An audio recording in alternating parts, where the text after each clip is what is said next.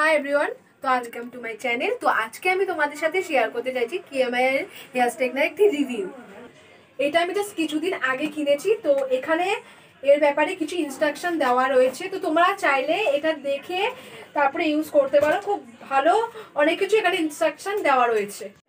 Share করা যাক এমনকি তোমাদেরকে দেখানো যাক যে আমার চুলটাই স্ট্রেটনার দিয়ে কতটা কীভাবে স্ট্রেট হয়।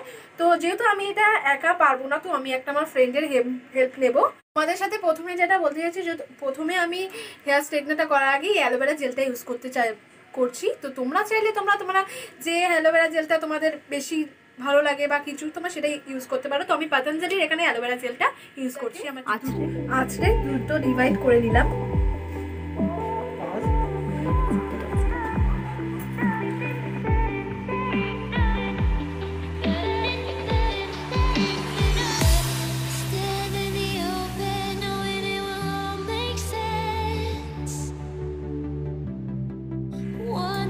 চলো, এবারে দেখা যাক।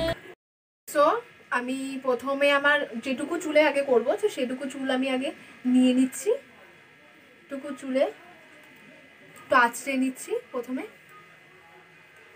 তো আঁচড়ে নেওয়ার পর, এরপরে আমি অ্যালোভেরা তেলটা নিয়ে নিচ্ছি।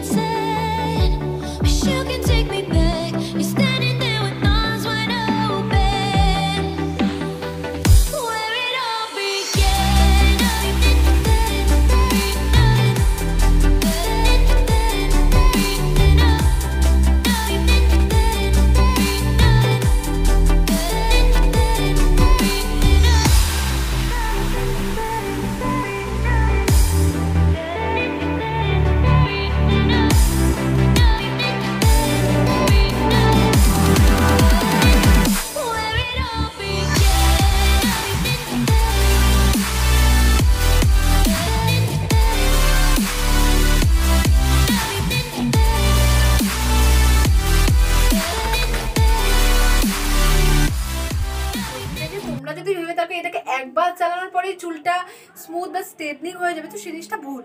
কারণ এই এই জিনিসটাকে দু থেকে তিনবার তুমি চুলে দিলে তুমি, তখন তুমি এর মধ্যে একটা স্মুথনিং ব্যাপারটা বুঝতে পারবে। এই স্ট্রেটনারটা কিন্তু স্যালনের মতো ফিনিশ দেবে, তোমরা কিন্তু ভুল।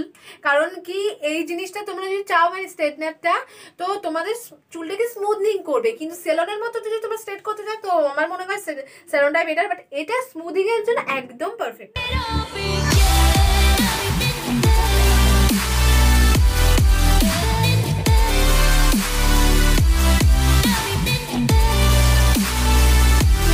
এই ভিডিওটাতে তোমাদের অনেক হেল্প করেছি, তো আমার জন্য এখনই এই ভিডিওটাতে লাইক করে দাও।